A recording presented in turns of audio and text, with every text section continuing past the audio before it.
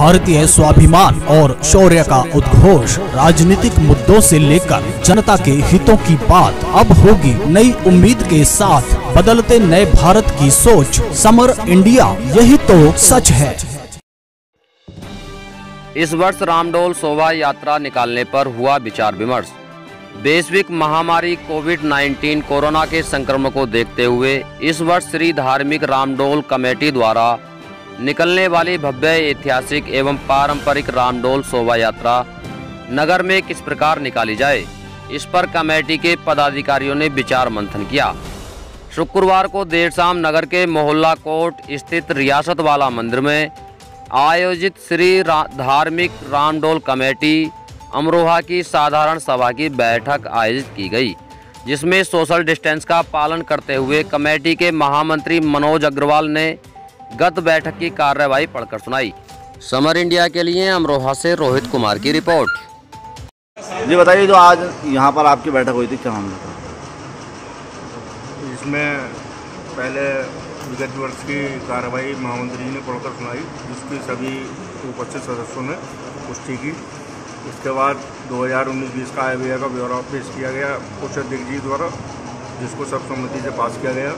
इसके पश्चात भगवान श्री कृष्ण की शोभा यात्रा रामडोल जो कि जन्माष्टमी के अगले दिन निकाली जाती है। उस जल्दी बताइए। आपके यहाँ जो आज बैठक हुई है? आज श्री धार्मिक रामडोल कमेटी रजिस्टर्ड अमरोहा की एक वार्षिक बैठक आहूत की गई जिसकी अध्यक्षता कमेटी के अध्यक्ष पंडित कपिल शर्मा द्वारा की गई एवं संचालन महामंत्री मनोज अग्रवाल जी द्वारा किया गया। सर्वप्रथम महामंत्री जी द्वारा विगत वर्षों की कार्रवाई और शोभा यात्रा से संबंधित जो भी जानकारी थी वो दी गई। उसके पश्चात कोषाध्यक्ष जी द्वारा आय का ब्यौरा दिया गया। उसके जिसे सदन ने ध्वनिमत से पास किया और इसके पास सर्वसम्मति से इस बार पुनः पुरानी ही टीम को इस वर्ष भी रामडोल शोभा यात्रा निकालने की ज़िम्मेदारी सौंपी गई है। हम सभी कमेटी के सदस्यों, पदाधिकारियों ने उन्हें यह आश्वासन दिया है कि विगत वर्षों की तरह इस वर्ष भी रामडोल शोभा यात्रा अपने पारंपरिक तरीके से अगर शासन का आदेश हुआ तो निकाली जाएगी, क्योंकि कोविड कोविड नाइन्टीन महामारी एक ऐसी वैश्विक महामारी है जो कि पूरे विश्व में फैली हुई है। अपने देश में भी इसने एक बड़ा रूप अख्तियार कर लिया है।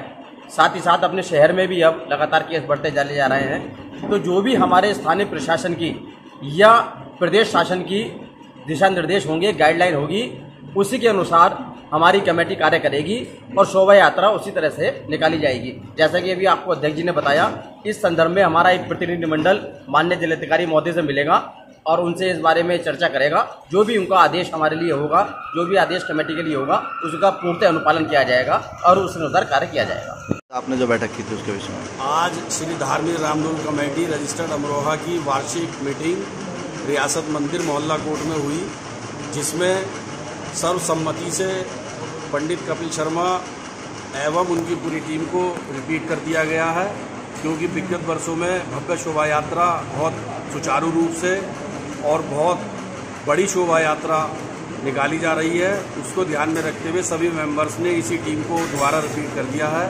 मैं आशा करता हूँ कि इस बार भी भव्य शोभा यात्रा निकाली जाएगी।